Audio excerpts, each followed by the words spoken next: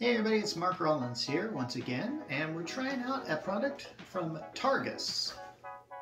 This is going to be one of two products that I'm reviewing from the company, at least for now, and this one, this uh, EcoSmart uh, keyboard, knocks out of the park. And we're going to unbox it and check it out right after this.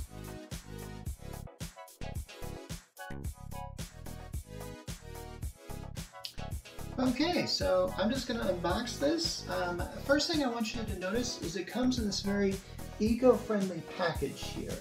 Um, most of the stuff uh, looks like uh, recyclable cardboard. At first I thought this white was plastic, but it feels like some sort of um, material that I'm really not familiar with, but uh, I believe it has the recyclable label on it, but I'm just for the second record, I'm just to check. Now let's see. Oh, hey, we got the, if you look closely, you can see the Targus written on it there. That's difficult to say because white tends to get a washed out effect on this uh, thing. But uh, let's check it out and open her up.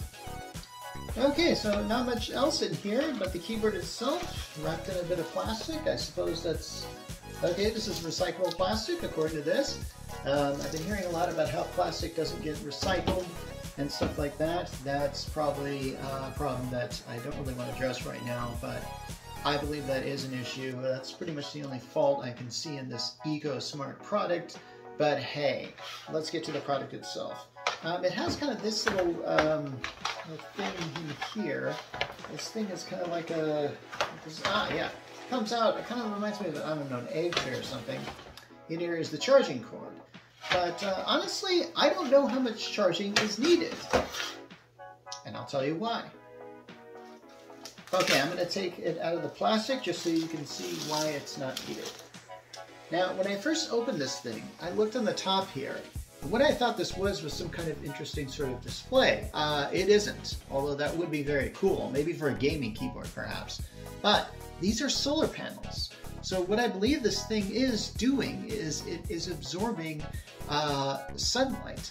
Uh, not only sunlight, but indoor light as well. So all the light in this room, it is taking. Now I'm told this thing is very efficient on power. It is up to three to four times more efficient on anything, um, any other Bluetooth keyboards. I might be wrong on that. If I am, I'll correct in the article that I'm writing on this. But um, it's pretty good looking. And as you can see, we've got some stands here. Uh, flip out uh, feet, I guess. And there's a switch here, which I believe turns it on.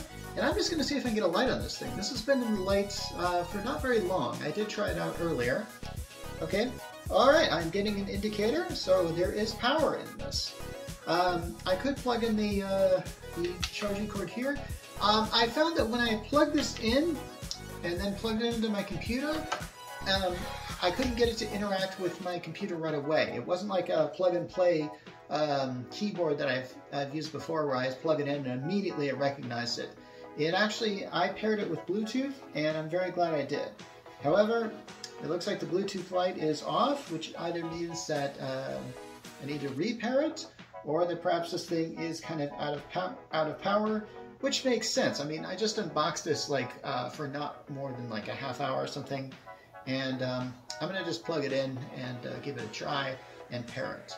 But first, I'm to go to our other camera. Okay, I've powered on my laptop here, and now I'm just going to plug it in, and uh, let's see if it'll recognize it right away.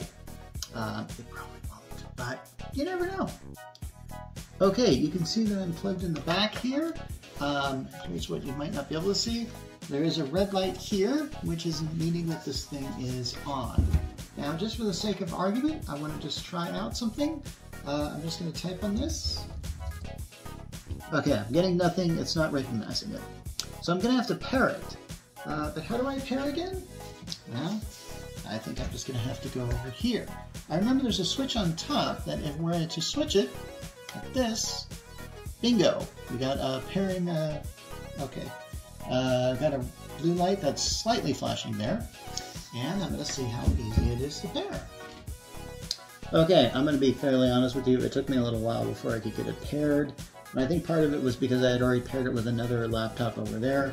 And then when I started pushing on these buttons, because apparently it can connect to three different devices and has these buttons there for it, I think it sort of uh, kind of jimmied the works and it made it work. Um, if that makes any sense. The my point is, it works, and I'm going to talk to you about it a little bit more here. Okay, honestly, I've typed on this thing, and I can't seem to type on this when the camera's there because it keeps shutting it on and off. But uh, the feel of it feels great as far as the keys are concerned. It really is. It's not. It's not exactly ergonomic, but it certainly is nice on the feeling on the hands. Seriously, um, I typed the article that I wrote about this on this guy, and it felt pretty darn good, honestly. So I'm going to give it points for that. As just as far as uh, various comfort that it feels uh, good with. Well, I usually don't uh, do like star ratings on this thing, but honestly, if I had to give this a star rating, it definitely would be above four out of five. And honestly, this is a very decent product, and I really hope that there are more companies that produce eco-friendly products like this. In the meantime, I'm just going to sit back here and catch some rays so my uh, keyboard can uh, essentially um, charge itself.